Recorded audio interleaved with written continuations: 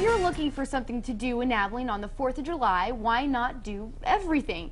The Abilene Conventions and Visitors Bureau and several downtown attractions are partnering for a great deal. Pay for the price of one and have access to all of the top Abilene attractions.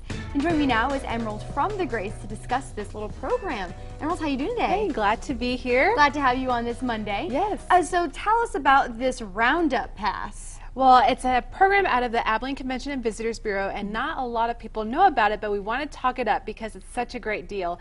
It's a promotion for first time um, Abilene visitors, or maybe people who are trying to save some money. And mm -hmm. um, we do have Roundup passes, that's what the deal is called. And what you can do is visit all of the local attractions in Abilene for a very much lower price than what you would usually pay if you were to visit each one and pay admission at each location. Wow. So what are all the attractions then? What is, what is included yes. in this pass? Okay, so you can visit the Grace Museum, Frontier Texas, the Abilene Zoo, which wow. is fun, yes, and then the Nickel, which is the National Center for Children's Illustrated Literature, mm -hmm. um, and also the 12th Armored um, Memorial Museum, which mm -hmm. is mm-hmm. all the World War II information.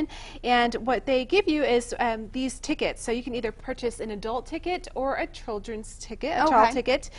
And um, what you'll do is you can buy them there or you can go to the Visitors Bureau and purchase them, but you buy as, as many as you need. So there's an adult price and a children's price. Wow. Yeah, and so what I did is I thought, okay, if you're, um, you know, you're husband, wife, and you got two kids, uh-huh. and you want to take your kids, uh, the whole family out for downtown, if you purchase these Roundup passes, you mm-hmm. would save $90. Wow. Yes. That's a lot. Yes. And if you think, oh no, well, I want to support the, my local attractions, don't worry because what the Abilene Convention and Visitors Bureau, um, what they do is they give a percentage of the sales of these Roundup passes to all of the downtown venues and the attractions. Great. So maybe you have, um, you only visit three of the attractions and you don't get to the other 3 mm-hmm. Well, no problem because we still each earn a percentage of the sales from these passes. Oh, perfect. Yes, it's a great deal for families. It for does. It sounds like a great deal for them, especially with the holiday weekend yes. uh, coming up. Now, is this the first time this is happening, or has oh, it happened no. before? We've had it for many years, okay. actually, and it's a great just promotion item to get people um, in the doors to these local attractions because mm -hmm. a lot of mm-hmm. people have been to the Abilene Zoo, but have they been to the Nickel or to the Grace? Right. So this is a great just um, pass for them to do that with.